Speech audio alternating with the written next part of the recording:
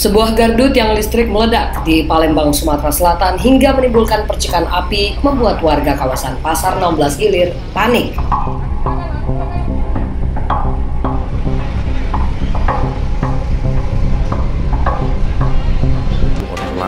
Pertamina pastikan stok BBM dan LPG. Palembang Baru TV. Kami Lukas. Aktual, independen, dan terpercaya. Inilah suasana di kawasan Pasar 16 Ilir, Kecamatan Ilir Timur 1 pada Selasa pagi, membuat warga dan pedagang kaki lima panik berhamburan saat mendengar suara ledakan dari atas gardu tiang listrik. Setelah mendengar suara ledakan, tiba-tiba munculnya percikan api kecil dari atas toko Bang Ozil, membuat warga sekitar merasa takut dan khawatir. Menurut keterangan Andika, warga di TKP, kebakaran cukup besar hingga membuat masyarakat panik. Dua kali meledak. Masyarakat tadi sempat panik gara-gara api tadi. Beruntung tidak ada korban jiwa dalam insiden kebakaran.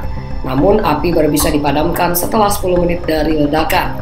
Satu unit mobil PBK turun ke lokasi untuk memadamkan api. Menurut Muhammad Novrianto, selaku Wakil Koordinator Lapangan Pos Merdeka mengatakan pihaknya menerima laporan dari warga di mana ada gardu terbakar di lantai dua. Pihaknya langsung tanggap mengirimkan satu unit mobil pemadam kebakaran dan meluncur ke TKP. Petugas langsung mengevakuasi dan melakukan pemadaman dengan menggunakan apar. Pihaknya mengimbau agar pemilik toko harus mempunyai alat pemadam api ringan sebelum dinas pemadam kebakaran datang.